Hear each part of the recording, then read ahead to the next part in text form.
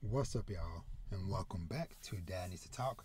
I'm your host Robert, and today, today I am doing a game talk specific episode of the podcast because it's been a couple of weeks. Life has been busy. Kids just finished up their first week of school, and I had to get some dental work done, so I haven't had the time, and my face has been in too much pain to talk for like the last like week or so, whatever. But I wanted to do this um, quick little episode just as we're on the precipice of Concord releasing on PS5 and PC in the coming days.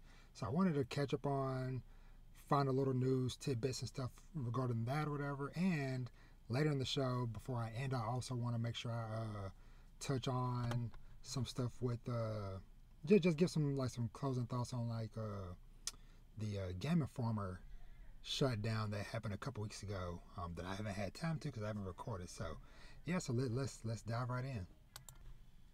Okay, so as always, I will have maybe some timestamps down below, just kind of separating some stuff for the discussion. Um, but yeah, so we are here, y'all. We are just a couple of days away from the Concord, um, at least the early access launch, which will be August 20th at 1 p.m. Eastern Time uh, on PS5 and PC. And then Friday the 23rd, same times uh, for the full standard release. So, yeah, so first off, I want to say shout out to the uh, the Concord Discord group because we have been discussing and holding holding each other down through the wait and the times as, as we get ready to head into the launch of uh, Concord. But yeah, so I, have already done a couple of previous episodes and discussions on Concord, talking about the beta and other new stuff, whatever. So if you want more, go check out those. But yeah, so here we are, y'all. Just a couple of days from launch, and I'm excited and I'm ready to finally dive in, play the game, get a chance to see more of the different maps and stuff. And I guess I'll just say, just for contextual purposes, uh, once again, Concord is a 5v5 multiplayer shooter from Firewalk Studios, um, which is a in-house PlayStation studio. And like I said, this game will be launching on PS5 and PC in the coming days. And the game will have 16 characters at launch and 12 maps and 6 gameplay modes. So, over the last week, we've got a lot of information and things of that nature since I did this uh, last update a few weeks ago. So, one of the things I wanted to point out first, though, before I get to like all the information, is that I feel like, and maybe I'm tripping, but I think that they went through and they did like some like minor tweaks and updates to the Concord web page. And what I mean by that is because originally when you went to this character section or whatever, they were all listed um, horizontally or whatever, had a horizontal scroll. But now they've updated it and broken them down, all the characters down into their respective groups. So you got your wardens with Lennox, Haymar, and Vale Breachers with Starchild and Daveers, Rangers with Teo, Jabali, and Duchess, Anchors with uh, One Off and Emari, and then the Haunts, which are uh, which is Bazz, It-Z, and Roka, and the Tacticians, Lark, Daw, and Kyps. So, just as a reminder, my main ones that I've been really enjoying has been Lark, Kyps, and Jabali. So Jabali was the first one I ever really vibed with um, a couple weeks back, whatever, when the beta first came out during that first weekend, and then over the coming time, whatever, I really started enjoying Lark and then Kyps a little bit, and uh, and I even started playing with uh, who is it, uh, Daveers a little bit um, before the beta ended and stuff. So, but yeah, so I just wanted like to just point that out because I noticed that they made like some slight tweaks and stuff to how that presentation and stuff was on their website. So yeah, so like I said, with the launch coming up, so in the past couple of weeks, Uh, we have also gotten two more animated shorts. Um, the second one was with Emari, Bazz, and Vale. And then the most recent one had Kyps, Duchess, and Roka, um, which also gave us a uh, a face reveal for Roka because she's normally wearing this headgear and you don't know what her face looks like, and gave, gave the fans a cool little uh, peek behind the curtain, so to speak, uh, on on what uh, what Roka looks like. So, a couple of things that we got this week that are much needed, and honestly, probably wish we might would have gotten this information maybe before the beta, but it is what it is. You can't change the past. But I definitely feel like a couple of these things definitely would have been very useful for people to have knowledge of going into the beta before people went into the beta, played for a couple rounds, and then just blindly started hating on it because they didn't really know or understand or get all the proper information and stuff. So, one thing, so we ended up getting a five minute long video on the PlayStation channel called Launch and the Adventure Ahead. And this video was with, I believe it was the, uh, yes, the design director, Josh Hamrick, and then the game director, Ryan Ellis. And they both kind of went through this pretty nice and lengthy uh, breakdown of the game, talking about like you know like their design philosophy and different things like that, um, as well as the crew builder system and what was the other one? Uh, shoot, it was the, the, the crew builder system, the roadmap and stuff, which I'm gonna talk about in a second, and just other little things like that that a lot of people, you know, that on the surface level when you're just playing the game would be like, oh, okay, this this might seem like just like a regular shooter or whatever, but them deep diving into the more nuanced aspects and stuff of it was pretty dope. And like I said, it definitely could have been needed um, before the beta and stuff came out. But hey, at least I'm glad that, that we got it. So yeah, so go check that out. That was a very um, key piece of information that we got. And then on the roadmap front. So they gave us this little infographic kind of detailing, you know, what things will look like at launch and then the tentative roadmap for now. So right now, we at least have an idea of when the first three seasons will launch. So at launch, we're going to be at uh, season zero. And so season one will come in October, season two in January, and then season three we see off to the side as uh, as April, but not much information. But one constant thing is that uh, in each of the seasons we're gonna get at least one new free gunner, one new map, some new character variants, um, cosmetics, and of course story stuff, whatever. Um, also coming with the season one update, they're gonna have a cosmetic only uh, shop that they're going to put in the game, whatever. So, along with all of the free stuff that you unlock just pro- progressing throughout the game, whatever, both um, on your account level and on your individual character leveling up, they will also later on add in the ability to outright buy cosmetics and stuff, whatever, which, hey, it is what it is. Um, speaking of launch and pricing and stuff, what I forgot to mention, so the standard edition of the game, just as a refresher, will be 40 bucks at launch or 60 bucks for the deluxe edition, which gives you three day early access to play on Tuesday versus Friday. Now, we did get like a quick kind of like little glance at some of the cosmetic stuff for some of the characters, whatever. And I'm interested to see more of this from a lot of the different characters and stuff. So, but um, I I liked uh, what's her name, uh, Haymar with like the kind of like blonde hair look and stuff. Uh, yeah, so I'm I'm I'm just excited to see the different variants, you know, the weapon skins and things of that nature. Um, I really like this look for uh Lynx, the one we kind of like that kind of like purple, purplish, um, and pink look going on to them and stuff. Um, but yeah, so that day they kind of like said just kind of give us like a brief rundown or like a quick glance, I should say, of some of the different uh, variety of the cosmetics and things of that nature. So, uh, and of course on here, like I said, they also more detail the crew bonus stuff and how that system will work and better nitro crews and stuff. Um, what else was it?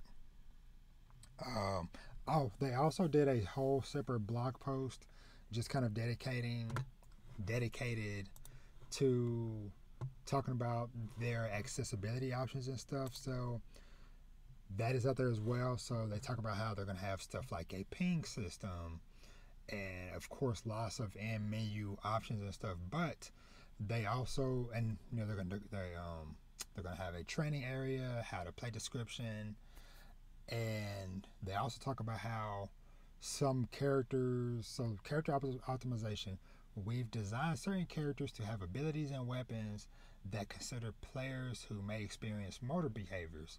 So, like Lark, one of my favorite characters that I've enjoyed so far, Lark's gameplay focuses on moving around the map and placing spores to create an extended area that buffs your teammates and debuffs your enemies rather than engaging in direct combat.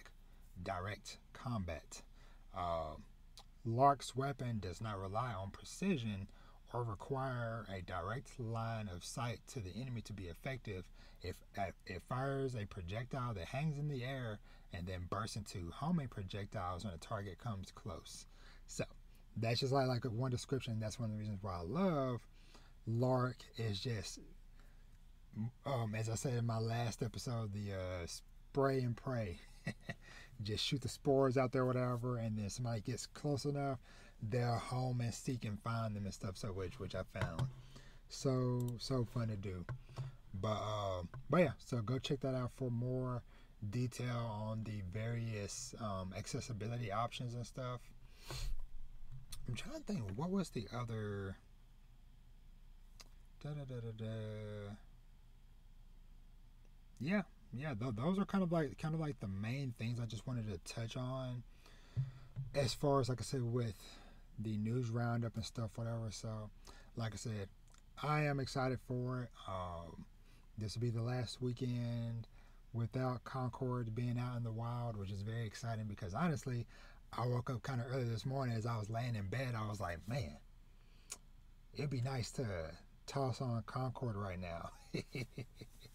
and, and, play some matches while everybody in the house is sleeping stuff. So, but hey, the the dream isn't too far away. But uh, but yeah, I, I am excited, and like I've mentioned before, I'm not gonna give it too much attention, but I'm also excited so that those of us that are genuinely interested in the game can play it, and then hopefully any naysayers or the loud vocal minority online can move on because it is like every online post, every comment section, whatever, it's just tons of just hateful and nasty comments. And like I've mentioned before, it's like it's okay. Every every game, every TV show, every movie, every anime, every manga, everything isn't gonna be for everybody.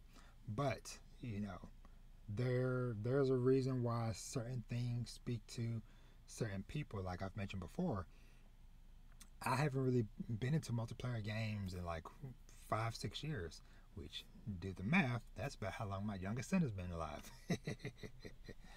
but yeah, but I don't know. I, and, and I've, I've never really been much of a multiplayer person as is, but just something about the pace and things with Concord is what's really got my attention with it and stuff. So because I am personally happy that it's not a super crazy, frenetic, fast paced thing like a Call of Duty or some of these other shooters and stuff, where it's like super twitchy and reactionary or whatever, to where it's like, okay, hey, we all or I have an equal fighting chance to take out somebody in Concord.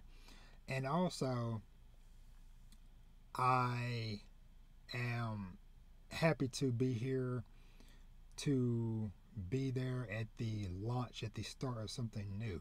because yes, there are lots of other multiplayer shooters and stuff that have been around for a long time and yada yada yada. But sometimes some of those communities or just some of those games aren't as beginner friendly or as welcoming to people who might want to try getting into them into them new or whatever without feeling like they're dragging down their team or without getting hateful comments and things of that nature, whatever. So that's why, okay, hey, Concord is an opportunity for people like me to get in on the ground floor with something new, new world, new characters, etc., etc., and just to have fun. You know, I'm not here looking for a game that I'm going to live in for the next five to ten years. Uh, I am happy to pay my 40 bucks to get the game, and then all future content will be included at no extra charge because, as a father of five, and between my wife and kids, they all play a lot of online stuff. My kids all play stuff like Roblox and Fortnite and NBA 2K and stuff, whatever. And I know how much money pours into those different things, whatever, for all these cosmetics or these season packs or these uh, battle passes and all the stuff, whatever. And it is like, man, like, like just, just tossing money into a bottomless pit or whatever. Versus it's like, hey, I pay forty bucks, and that's it. And I have a feeling that I will get more than forty dollars worth out of this game and stuff. And like I said, and kind of know what the foreseeable future is with this game and stuff. So, but yeah, so that's the reasons why I am excited for Concord and I'm looking forward to its launch in the coming days and stuff. And I hope that anybody else out there that might be excited for it, hey, hit me up. Let me know. I'm here to talk about it. Or like I said, hey, if you want to join a community, whatever, the official Concord Discord has been pretty welcoming to people and stuff. Um, I've been in there since it opened back during the beta and stuff, whatever. And like I said, we have tons of fun conversations every day. There's channels dedicated to you know theories and community creations, um, channels for people looking to squat up and things like that or whatever. So, so yeah, so go check that out. Like I said, if, if you're looking for a genuine community and stuff, whatever. And yeah, so let me know your thoughts below. Um, try to keep it positive, please. And if you're excited for the game, let me know who are some of your favorite characters from the game and stuff. And uh, yeah, and hopefully I will see y'all out there in the uh, traversing the Concord Galaxy in the coming days, weeks, and months. So, yeah. So I think that was all I had to say with Concord. Let me just do one last check before I move over to move over to talk about Game Informer. All right, y'all. So I didn't have anything else to say about Concord. So let, let's jump over to talking about the unfortunate closure of Game Informer magazine.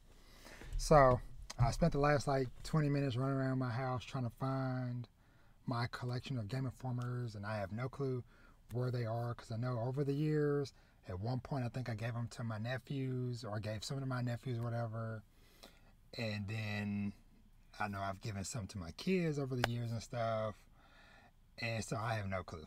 I don't know if they're tucked away in a box somewhere in the house, or if they're at, you know, at my sister's house with my nephews or whatever in their room somewhere.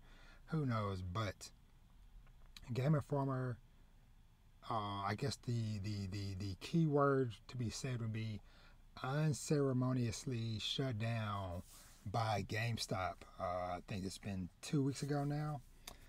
Um, Game Informer is almost as old as I am. I am 34.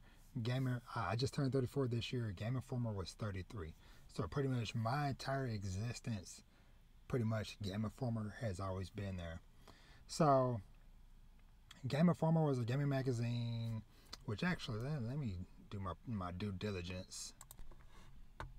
Okay, so I got the wiki page brought up because I feel like if I'm going to do this, I want to do this properly just to archive the history. So, Game Informer debuted in August 1991 um, when the video game retailer FuncoLand started publishing an in house newsletter. It was acquired by the retailer GameStop, which bought FuncoLand in 2000. Due to this, a large amount of promotion was done in store, which continued, uh, which contributed to the success of the magazine. As of June 2017, it was the fifth most popular magazine by copies circulated. So, so yeah, so that that's kind of like the origins of Game Informer. It was started at FuncoLand, and then when GameStop came and bought up FuncoLand, they also got Game Informer as part of, part of it. And just for a little bit of added context, whatever for myself, I used to work for GameStop as a retail associate. Um, I did it on and off about four years collectively. My time there from 2008 to 2014. So, like I said, couple stints here and there, whatever. But uh, um, was it 2014? Yeah, 2014. Yeah, 2008 is when I got is when I did it for the first time for about six months.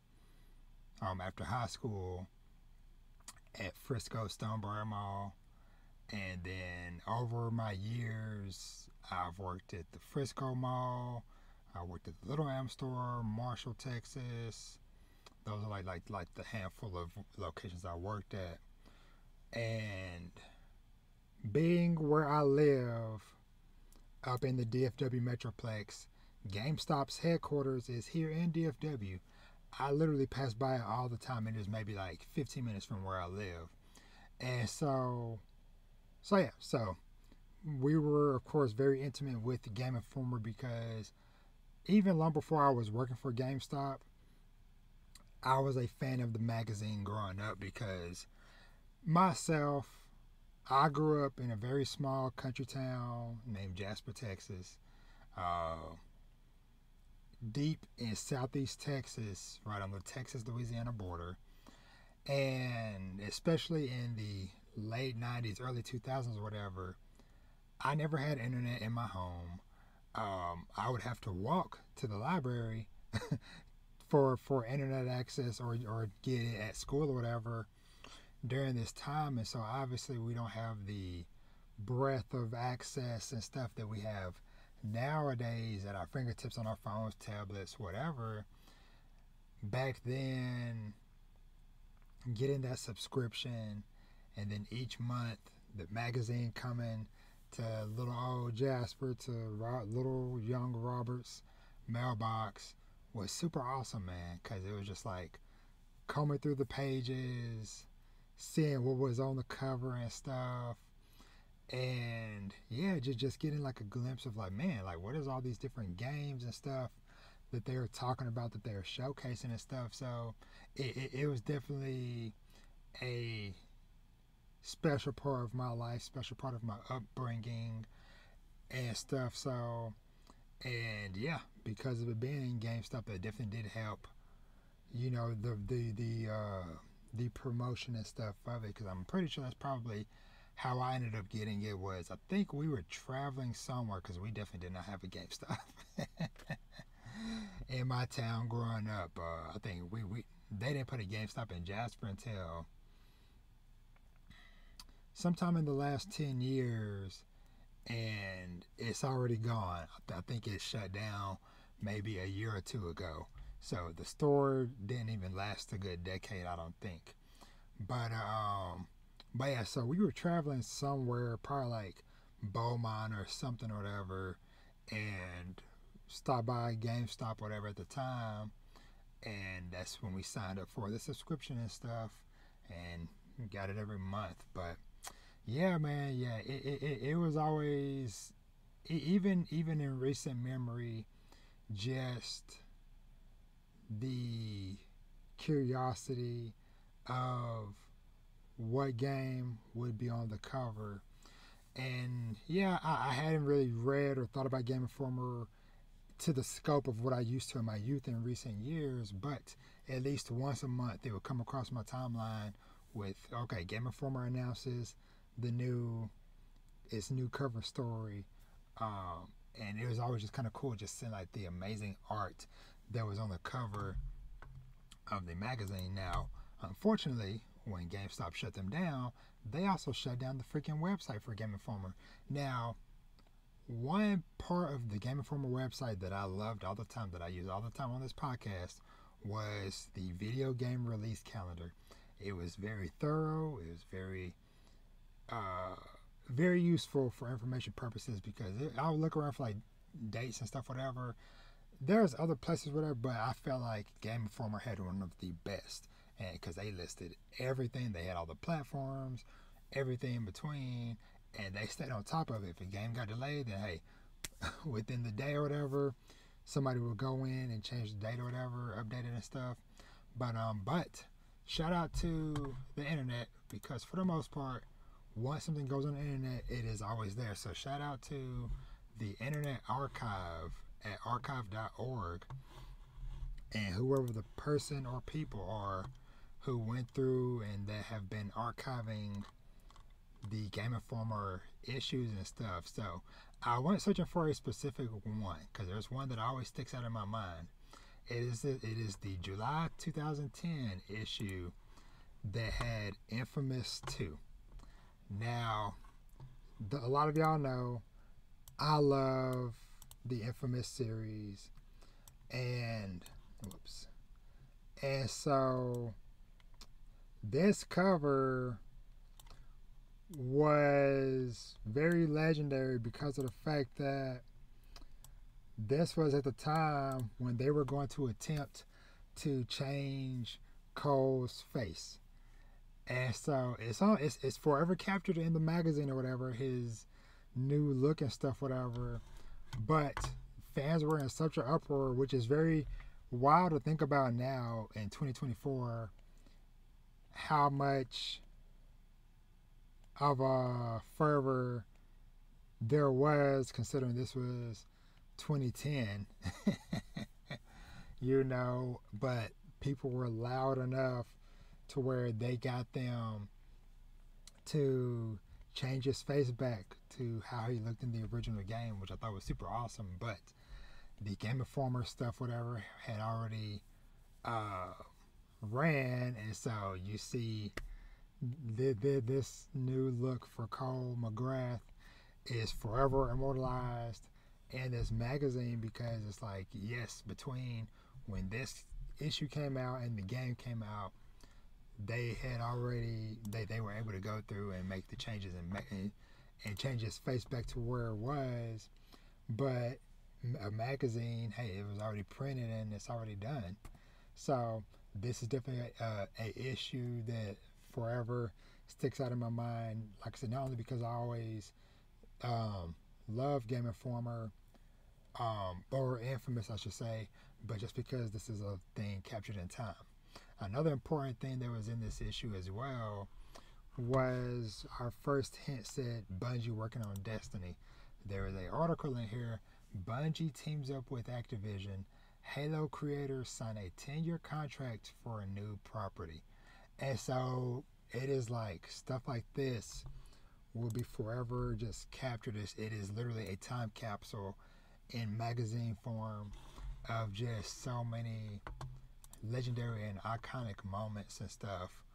Um, but yeah, man, I'm, I'm, I'm just browsing through these different um, Game Informer covers or the San Andreas issue, Witcher three. Oh yeah, the the the uh, Epic Mickey one was really dope. Yeah, man, it, it, it is just so many great memories of these cover stories and like I said, like what they meant giving insight to youth like me who didn't have who grew up in a time where we didn't have constant access to the internet and we didn't have constant access to information um, oh, another one of my favorites is this uh, September 2010 issue with uh, with Batman Arkham City on the cover. Um, I, I freaking had posters and stuff of this cover and some other stuff uh, hanging up uh, in the house. But yeah, man, this is just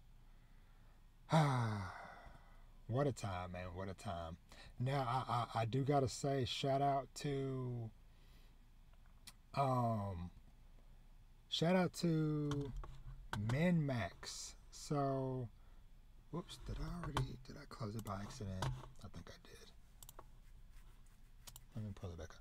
So MinnMax is a Patreon slash podcast slash YouTube channel with the main creator Ben Hanson, who used to work at Game Informer back in the day, and then I think he was part of a wave of layoffs, maybe five years or so ago, whatever.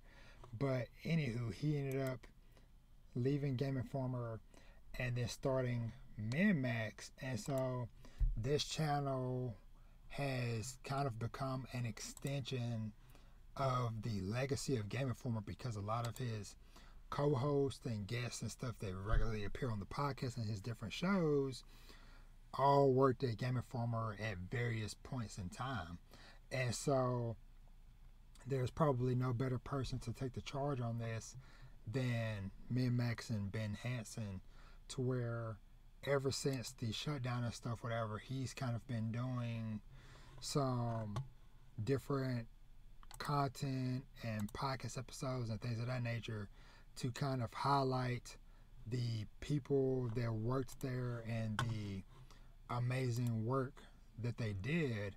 And so on his YouTube channel, he has a whole section uh, dedicated to the celebration of Game Informer. So I highly recommend anybody that's interested in. My internet is tripping.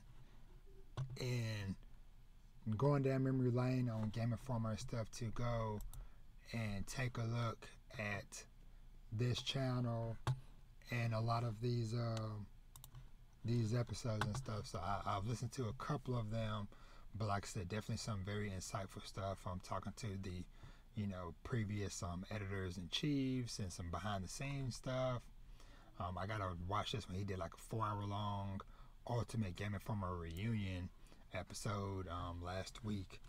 But um, bam! So I just want to make sure I shout it out that for anybody that might be interested in more Game Informer stuff. But yeah, man, like I said, I don't have too much more to expand on. But like I said, I I couldn't let time continue to pass on without me just expressing my love and appreciation for Game Informer and for all that it did um, like I said, for for me and my youth. Uh, let me see another one of my favorites is this uh, this uh, Dishonored two. I think this is Dishonored two um, cover that they did. So, but my internet's tripping, so stuff isn't loading up properly right now. But um, but yeah. So let me know what, if any, are some of your favorite Game Informer memories and things like that. Um, like I said, it, it has been a heck of a journey, and I definitely wish they would have at least got to do a proper goodbye by doing maybe at least like a hey, Game Informer is shutting down in two months, or Game Informer is shutting down at the end of the year. I, I feel like that's the least they could have done, man. Like, it's just like all these people in the legacy 33 years and for you to just for them to just wake up one day just like hey y'all are all losing your jobs goodbye like website shutting down shutting down twitter account and just like damn damn man but because um, i know so their last the second to last issue that they did was uh dragon age inquisition which that sucks for that team because they that was kind of like part of like the ramp up on the road to uh launch because we just got the release date of uh, August 31st the other day for Dragon Age, uh, the Veilguard, I should say. Um, and so that was one of the second to last issues. And then I can't remember what the actual final, final issue is. Let me see if I can find it real quick.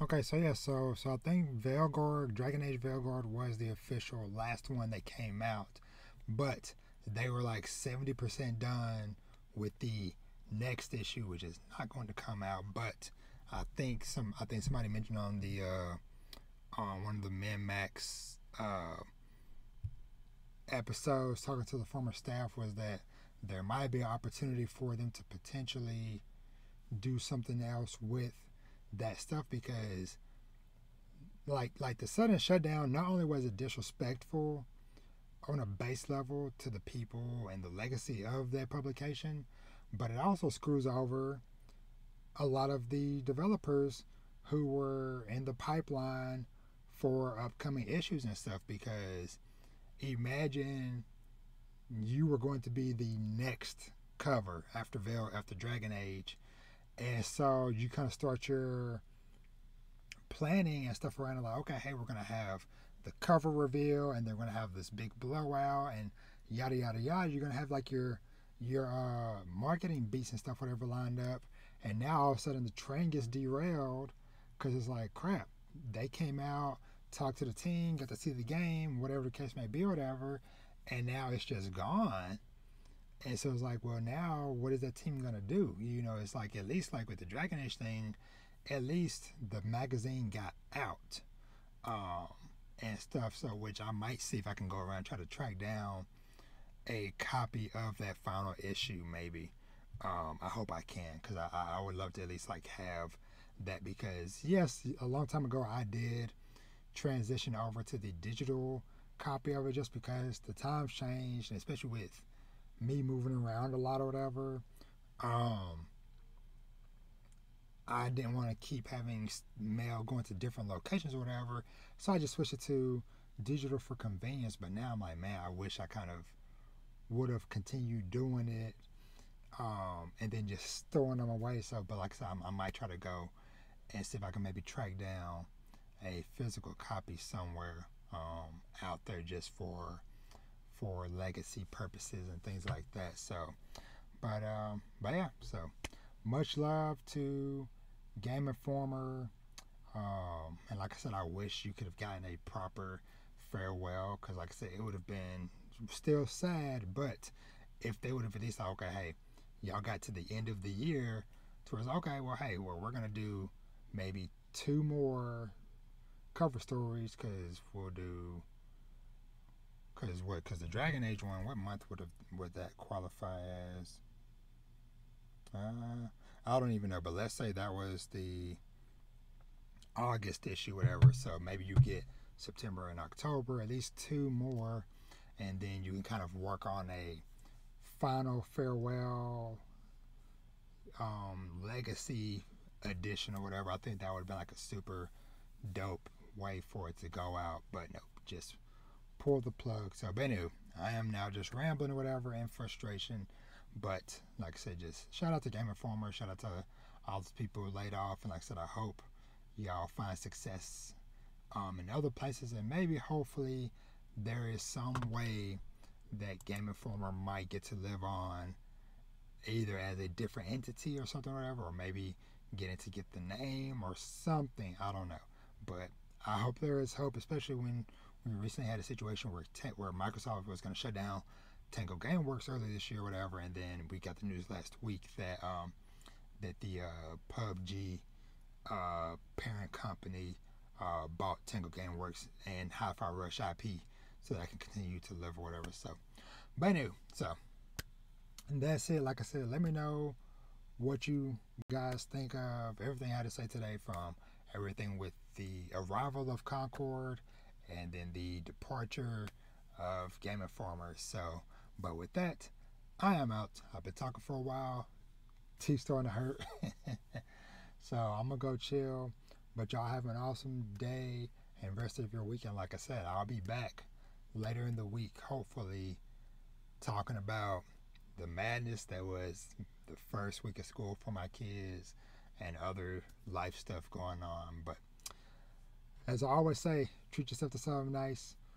Read some manga, watch some anime TV shows and movies, and of course, play some video games and live your best life. And with that, I am out. Y'all have an awesome day. Rest in peace, Game Informer. I hope you will rise from the ashes somehow And I will catch you on the next one. Peace.